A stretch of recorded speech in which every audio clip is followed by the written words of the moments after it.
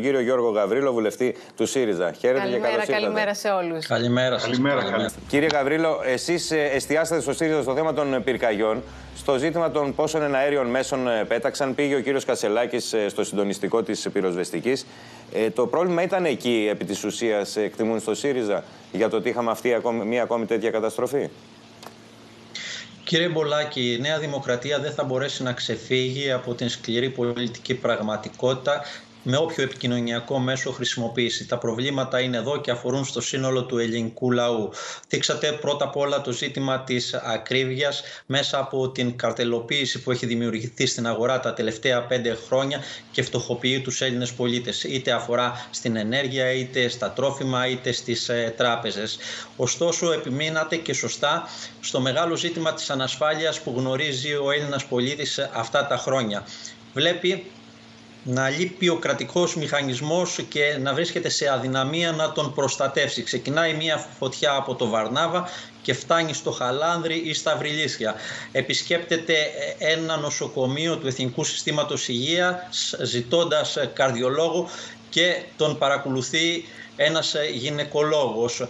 Τέλος βλέπει να αποδομείται ένα κράτος δικαίου που είχαμε καμάρει τα τελευταία χρόνια και φαίνεται να ξαναγυρνάμε στη δεκαετία του 1950 ναι, αλλά αυτά κύριε Γαβρίλο είναι, είναι, είναι διαπιστώσεις. Το ζήτημα είναι ότι η συζήτηση για μια ακόμη φορά και στα μέσα ενημέρωσης εστιάζεται στο αν ο κύριος Κασελάκης υιοθέτησε τελικά εκείνο το, το σκυλάκι μετά το, στο, το πυρόπληκτο σκυλί, το αν ε, έχει λίστα γάμου, το αν ε, ο Νίκος Παπάς, ο ευρωβουλευτής σας, ε, καταφέρεται με τέτοιους ε, τρόπους και με τέ, ανοίγει τέτοιο διάλογο με αστυνομικούς.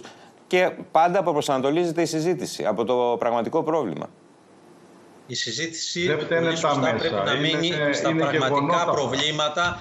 Ε, Ειδικά για τον κύριο Ένας, ένας κύριε Σιμόπουλο, να μας απαντήσει ο κύριος ε, Γαβρίλος. Πρέπει να μείνει στα πραγματικά προβλήματα και εστιάζω και στα ζητήματα που θίξατε της ε, πυροπροστασίας. Από το 2019 ο ΣΥΡΙΖΑ άφησε ένα ολοκληρωμένο σχέδιο κυρίως εστιάζοντας στην πρόληψη ε, και όχι στην καταστολή. Ε, αυτή τη στιγμή υπάρχουν 3.000 κενά στην πυροσβεστική. Ακόμη δεν έχουν προσληφθεί με την προκήρυξη του 2022 οι 116 δασολόγοι και 170 δασοπόνοι.